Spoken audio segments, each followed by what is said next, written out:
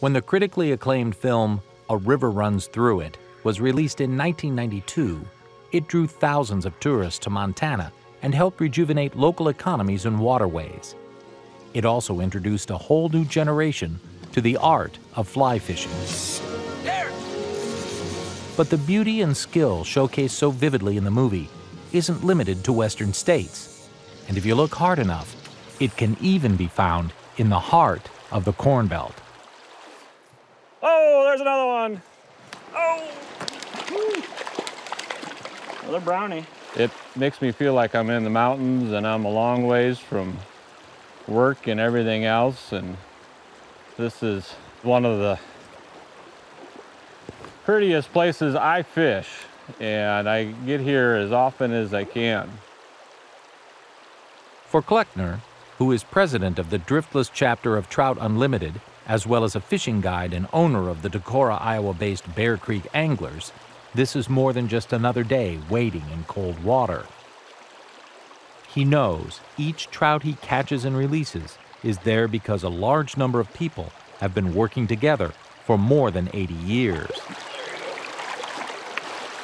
The trout come from two sources the native populations that swim in North Bear Creek and others stocked by the Iowa Department of Natural Resources from the nearby Decorah Fish Hatchery. But preserving and expanding populations of brown, brook, and rainbow trout in northeastern Iowa is much more involved than simply restocking local streams. Trout thrive in fast moving 50 degree water and need a gravel covered stream bed to survive. The spring fed creeks in northeastern Iowa are the perfect habitat for these fish. Rainbow and brook trout are native to the region, and brown trout were introduced in the 1880s. But as farming and industrialization grew, trout numbers began to decline, and in the 1930s, efforts to help bring back dwindling populations were started. Efforts have really kicked into high gear during the past two decades as a strong relationship between farmers the Iowa Department of Natural Resources and the Federal Natural Resources Conservation Service has been forged.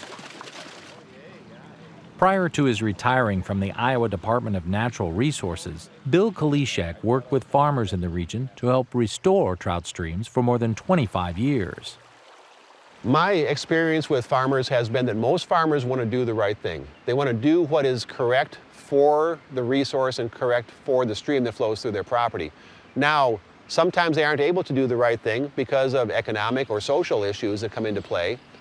And then there is that small percentage that doesn't care about doing the right thing. And unfortunately, when you're talking about trout streams that have very small watersheds, just one or two really bad fields of high erosion can have a big impact on that small stream.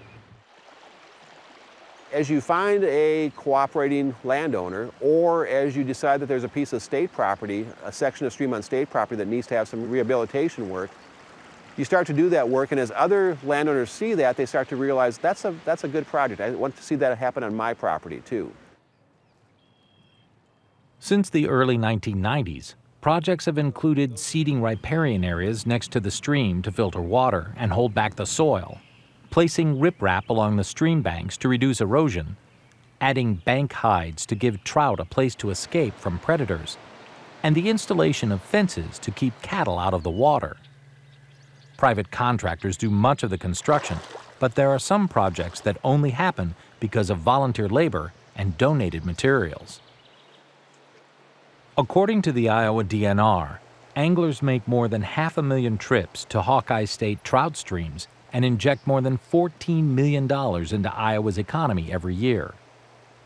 Efforts by landowners, volunteers, and government agencies have helped clean up the water and keep gravel stream beds clear of silt, allowing trout to lay their eggs. Those efforts have helped reestablish naturally reproducing trout in more than 40 of Iowa's 105 trout streams. An example of where the cooperation between farmers and government yielded results can be seen at Valley View Farm, where Walter Langland and his son Steve run a diversified grain and livestock operation in rural Winneshiek County.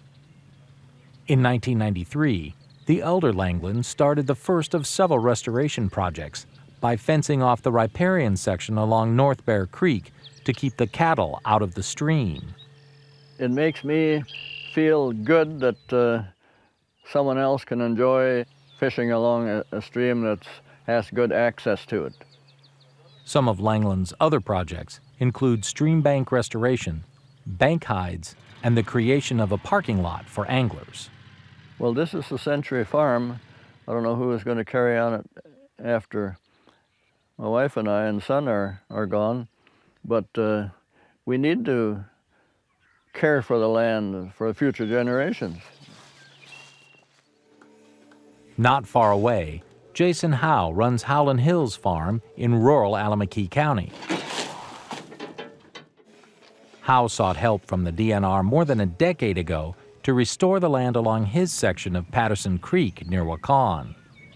I was kind of tired of seeing all that good uh, topsoil washed away, and uh, so I had um, went to them and asked about it, and I, um, you know, I, I, think around the same time is when I was wanting to get the trout, to see if I could get the trout to start reproducing, wondering what that would take, and uh, spoke with the DNR about that, and um, most years I'll do one or two um, of the worst uh, banks, I guess, to kind of keep them from eroding away, and, and uh, you know, it's been working out pretty good.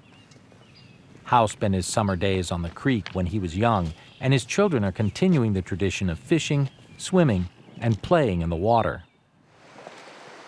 For Kleckner, just catching the trout tells him things are improving as more soil remains in nearby farm fields and out of the stream.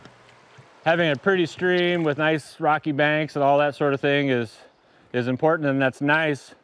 However, if the farmers don't take care of the 500 or 1,000 acres that they're farming that's in the watershed, uh, pretty stream banks aren't going to help natural reproduction of brown trout. So, I mean, it's all it's all the farmers taking care of the watershed that that has allowed us to have natural brown trout reproduction going on here, and, and for me, that's pretty exciting. The ideal of farmers and environmentalists sharing common goals of protecting and enhancing natural resources on which both depend often seems to be elusive these days but the synergy is evident in northeastern Iowa and could easily have served as the inspiration for Pulitzer Prize winning author Norman Maclean, who once wrote, Eventually, all things merge into one, and a river runs through it. For Market to Market, I'm David Miller.